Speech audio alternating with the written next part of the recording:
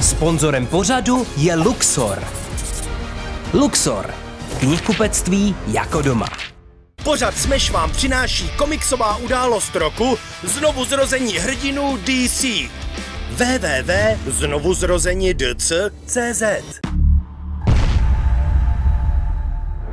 I hrdinové potřebují někdy pomoc. A proto bude dnešní díl věnován jejich sidekickům, ale až po aktualitě.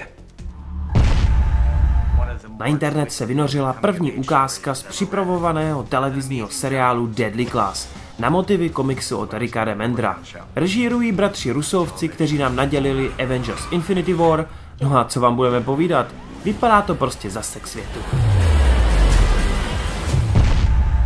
No co si budeme nalhávat, i ti největší borci a borkyně na světě, ne v celíčky galaxii, nezvládnou být v případě nouze úplně všude a potřebují pomoc. Od toho mají nejen pláštěnkáři své pomocníky, takzvané sidekicky. Tento pojem nejvíce spopularizoval chlapec v zelených spodárech a červeném trikotu, jenž pomáhal netopířímu muži od roku 1940. Robin byl svého času tak trochu po držtaškách, ale už v 50. letech mu autoři věnovali více prostoru a Dick Grayson si začal získávat fanoušky. Hlavně mezi mladším čtenářstvem, neboť tihle pomocníci byli vytvořeni hlavně proto, aby se menší děti měli s kým stotožnit. Batmanovská mytologie ale byla skutečně jedna z těch prvních, která pořádně rozpoutala vedlejší postavy a různorodé pomocníky. Jen v samotné Batfamily se našlo pět Robinů, Batgirl, Bluebird nebo Signal. A v jistých proměných jsou s Batmanem až dodnes. Jen o pár let na to Marvel konkuroval postavou Buckyho,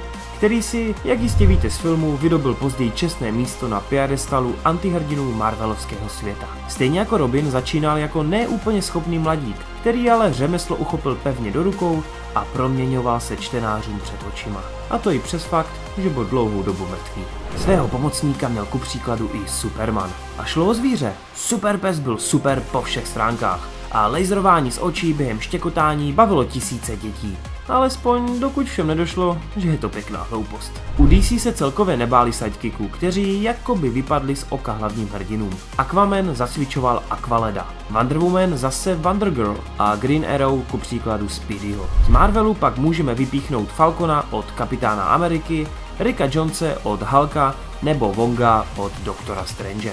A je jich samozřejmě mnohem, mnohem víc. Sidekickové hrají i důležitou roli v nových řadách znovuzrození hrdinů DC, který nedávno vypuklo na našem trhu. A mimo Kid Flashe či Black Canary se můžete těšit na vedlejší postavy z různých týmů a světů. Zkrátka, máte z čeho vybírat a každý z vás má šanci si najít toho svýho parťáka do nepohody. Napište nám na e-mailovou adresu soutěžzavináčkraft.cz komu byste chtěli dělat sidekicka. Jako předmět nezapomeňte uvést soutěž Smash. Soutěžíme o komiks znovu zrození hrdinu DC Wonder Woman. Třeba vyhrajete právě vy.